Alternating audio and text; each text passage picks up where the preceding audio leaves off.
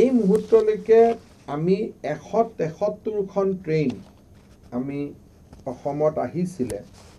আৰু ঠিক সেইধৰণে আমি যদি চাওঁ যে আমাৰ ইয়াত এতিয়ালৈকে সাতশ এঘাৰখন ফ্লাইট আজিৰ দিনটোলৈকে আহি পালে।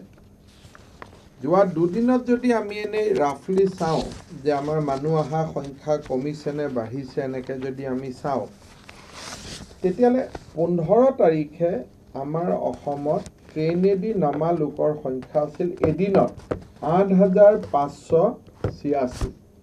That was the highest peak in one day আঠ হাজাৰ পাঁচশ ছিয়াশীজন ব্যক্তি in one day this was the highest যোৱাকালি এই সংখ্যা নামি পাঁচ হাজাৰলৈকে গৈ পাইছেগৈ।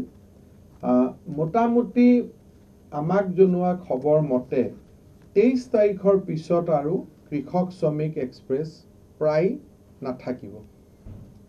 তাৰমানে যদি কৃষক শ্ৰমিক এক্সপ্ৰেছ নাথাকে তেতিয়াহ'লে এভাৰেজ আমি ডেৰৰ পৰা দুই হাজাৰ মানুহে আমি অসমত পাম। আৰু সেইকাৰণে লাৰ্জ কোৱাৰেণ্টাইন চেণ্টাৰ যিবিলাক আছিলে তেইছত যদি লাষ্ট আহি পায় সাতদিন যদি তাৰ পিছত কোৱাৰেণ্টাইন হয় তেতিয়াহ'লে মই ভাবোঁ যে ফাৰ্ষ্ট উইকৰ পৰা the pressure on quarantine will come down drastically অৰ্থাৎ বহুত বেছি আৰু মানুহ অসমৰ বাহিৰৰ পৰা আহিবলগীয়া নাই।